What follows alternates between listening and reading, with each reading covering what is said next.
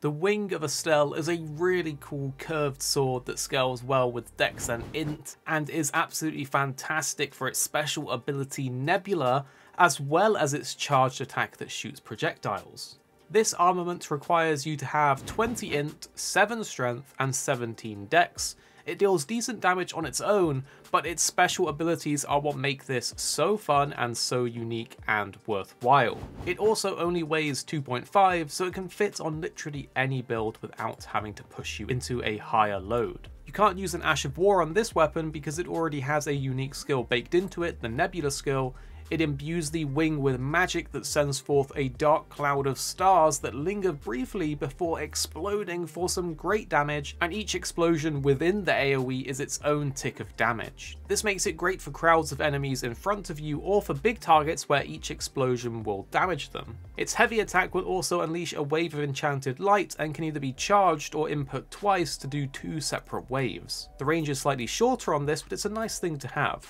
In order to get this weapon, you will first have to have completed Ranni's questline up to a specific point, where you unlock Nokstella, the Eternal City, underground. If you haven't done this before, we have a video on the channel for how you get the Moonlight Greatsword, which you can get after doing this questline, so refer back to that video if you want to find out how you can get to Nokstella, then come back here and you'll be able to get this weapon. From the Nokstella Eternal City Grace Point, make your way southeast and follow where I run past all of the ants and into this little cave. From here you want to run along the cliffside and carefully check where you're going to land to make sure that you don't fall off, follow the cliffside along, be careful of the big monster hanging from the ceiling as it will use a special gravity spell to shoot loads of rocks at you, so make sure to time it correctly where you hide behind a pillar to block it, then run out and pick up the weapon for yourself. And there you have it, you have an absolutely fantastic int weapon to mix up your playstyle. If you do find this helpful, make sure to click a like down below and let us know in the comments if you found any other interesting weapons.